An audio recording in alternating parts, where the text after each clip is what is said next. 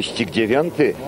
W kasku białym Ryszard Franciszyn, w czerwonym Dariusz Stynka, w żółtym Marek Hućko i w kasku niebieskim Robert Szewczyk. Zobaczymy tutaj pojedynek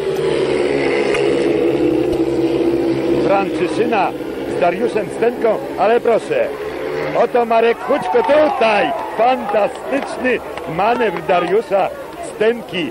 On się przedarł między tę gorzowską parę, ale nie, walka się jeszcze nie skończyła. Marek Hućko po zewnętrznej szaleje Stęka tuż przy bandzie rozpędził się i wydaje mi się już osiągnął pewną przewagę nawet psychologicznie podciął doskonale prezentującego się Francyszyna i Marka Hućko, który pokazał, że rzeczywiście jest młodym jeźdźcem, ale już dobrze jeżdżącym. Przodzie Stęka, Hućko, Franciszyn i Robert Szewczyk. Rozciągnęli się żużlowcy na bieżni odległości dość duże i w tym momencie mijają metę. 3 do 3 za zwycięstwo Dariusza Stenki w tym wyścigu, a my mamy wynik 29 do 25 w dalszym ciągu dla lubelskiego motoru. Paweł Staszek w kasku niebieskim, w białym rębas, w czerwonym mordel i w żółtym Piotr Ślisk to motocykliści, którzy wystartowali do dziesiątego wyścigu. No, tam walka szalona między Jerzym Mordelem a Piotrem Świstem. Na razie Mordel w czerwonym kasku, ale Świst nieustępliwie trzyma się jak rzep psiego ogona. I proszę, odepchnął Mordela spod krawężnika i już jest na czele. A na trzeciej pozycji Paweł Staszek. Trener Zwierzchowski nie zmienia młodzieży w dzisiejszym spotkaniu, bo trzeba uczciwie powiedzieć, nie ma kto zastąpić żużlowców, którzy zgłoszeni są do składu w meczu ze Stalą Gorzów. A tu na torze Świst przed Mordelem, Staszkiem i Rębasem. Mordel jeszcze nie odpuszcza, jeszcze stara się doścignąć wielokrotnego reprezentanta Polski, który po tym pierwszym swoim występie w Lublinie niezbyt fortunnym jakby się odnalazł, jest na czele i pierwszy minie linię mety. Pierwszy świst, drugi Mordel, trzeci Staszek, czwarty Rębas, 3 do 3 i wynik po 10 startach 32 do 28 dla zespołu gospodarzy. Hans Nielsen z Jerzym Głogowskim przeciwko Gorzowianom Francyszynowi i Paluchowi. W niebieskim Głogowski, w białym Franciszyn, w czerwonym Hans Nielsen i w kasku żółtym Piotr Paluch. A przewaga motoru jest bardzo, bardzo minimalna, ledwie 4 punkty, 32 do 28. A my popatrzmy na ten wyścig. Tak. Hans Jensen tradycyjnie wystartował pierwszy, ale za nim gorzowska para. Na końcu Jurek Głogowski, który podobno nie ma maszyny, która by go niosła jeszcze szybciej. W motorze wszyscy zawodnicy, prawie wszyscy narzekają, ale my tutaj patrzmy. Świetny atak Jurka Głogowskiego na jadącego w kasku żółtym Piotra Palucha. Już go wyprzedził, a więc jest zupełnie nieźle. Do tego sprzętu. Głogowski mówi, no gdybym miał jakiś porządny silnik, to jeździłbym dużo, dużo lepiej. A tak ten zasłużony, doświadczony zawodnik zmaga się no nie tyle z konkurentami, co głównie z nie najlepiej funkcjonującym motocyklem. A tu daleko z przodu Hans Nielsen obejrzał się, gdzie Głogowski, a Głogowski teraz musi odpierać szaleńcze natarcie palucha. No może mu się uda. Pierwszy Hans Nielsen, drugi Franciszyn, trzeci Głogowski obronił ten jeden punkt i bez punktu paluch, a więc 4 do 2 dla motoru i 36 do 30 wygrywa zespół trenera Zwierzchowskiego. Wyścig 12. Goście wprowadzają w miejsce Mariusza Staszewskiego z rezerwy taktycznej Piotra Śwista. No tak, 6 punktów przewagi motoru pozwala na taki manewr, a więc w kasku niebieskim znów mamy Roberta Juchę, w białym Śwista, w czerwonym Stękę i w żółtym Marka Hućko.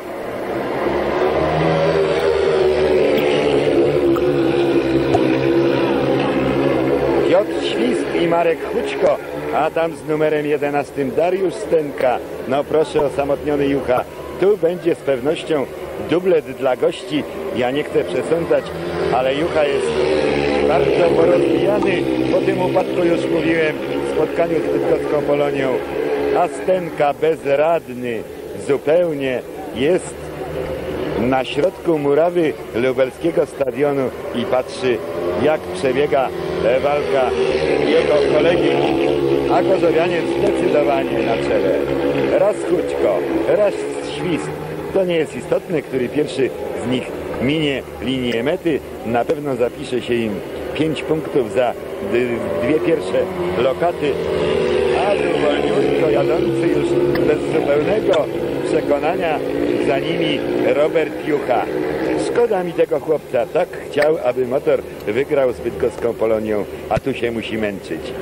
Tak, mamy Śwista przed Markiem Hućko na trzeciej pozycji Robert Jucha.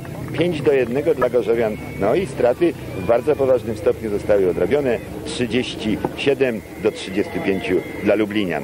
Decydująca faza zawodów między motorem a stalą Farpol Gorzów 37 do 35 wygrywają Lublinianie w kasku białym Franczyszyn, w niebieskim Staszek, w żółtym Paluch, w czerwonym Mordel. Wyścig 13, taśma w górę, pojechali.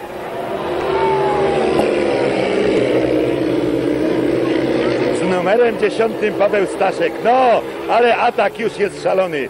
Z obydwu stron widzą Państwo, Gorzowianie, jeden od strony zewnętrznej, drugi przy samym krawężniku atakują tego młodziutkiego lubelskiego motocyklistę, który niespodziewanie znalazł się na czele tego wyścigu. A Jurek Mordel usiłuje tak, tak, przedrzeć się na tą trzecią pozycję, za którą otrzymuje się jeden punkt. Tam było zwarcie motocykli. Szalona walka! Bo od, bo od tego wyścigu być może zależy cały ostateczny rezultat zawodów. Staszek troszeczkę odjechał od krawężnika, ale w dalszym ciągu na pierwszej pozycji. Atakuje go Franciszyn. Jest bardzo zdziwiony, że jakiś młokos tutaj daje mu szkołę, ale Staszek to wielki talent. No, Hans Nielsen dał mu wygrać ten jeden wyścig, a tu proszę, sam bez pomocy Mordela kończy zwycięsko ten bieg. Pierwszy Staszek, drugi Franciszyn, na trzeciej pozycji Paluch i bez punktu Jurek Mordel. 3 do 3, 40 do 38 dla motoru.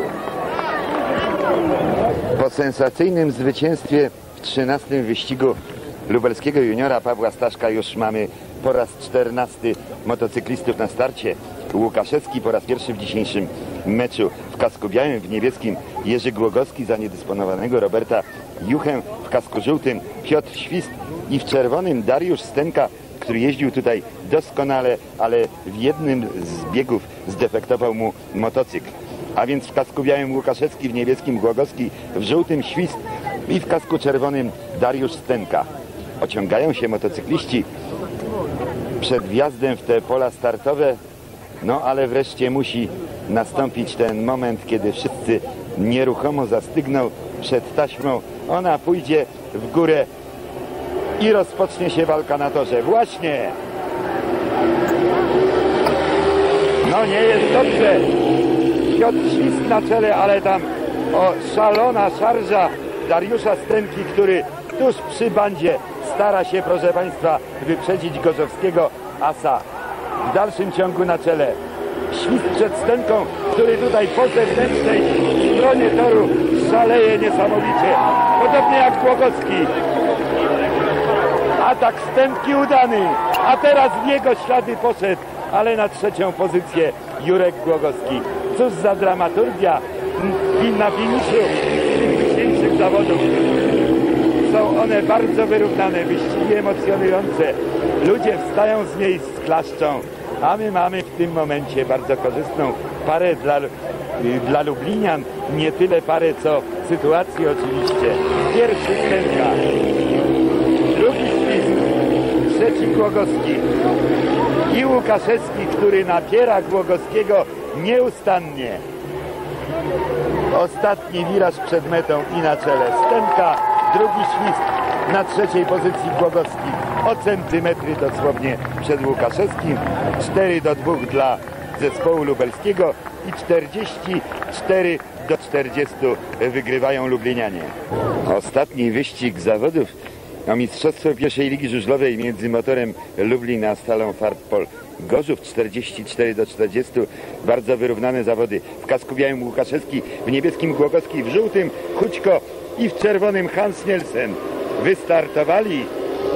Zamknięty tam został Głogowski, ale na czele oczywiście duński wicemistrz świata na rok bieżący. A tu atak Jurka Głogowskiego po zewnętrznej stronie toru cudownie objechał jadącego w kasku białym Łukaszewskiego. Zaatakuje teraz zapewne Marka Kućko, a z przodu niezagrożony wspaniale jadący Hans Nielsen. Zwycięstwo Lublinian przesądzone, a tam znakomite starcie na jednym z wiraży, ale bardzo czysto. Jurek Głogowski, który tu wychodzi ze skóry, żeby pomóc swojemu zespołowi i pomaga. Świetna, ambitna jazda tego zasłużonego zawodnika i już jest na drugiej pozycji. No proszę, ktoś by się spodziewał. Pan Stiercen patrzy, gdzie jego partner już jest na czele, na tylnym kole wykonuje tutaj taki gest, który tak lubi publiczność nie tylko w naszym mieście. Nielsen, Głogowski, w kasku żółtym Marek Kućko i nie kończy tego wyścigu Łukaszewski zjeżdżając do boksu 5 do 1 i 49 do 41 wygrywa lubelski motor ze stalą Farpol Gorzów. My się z Państwem żegnamy, dziękujemy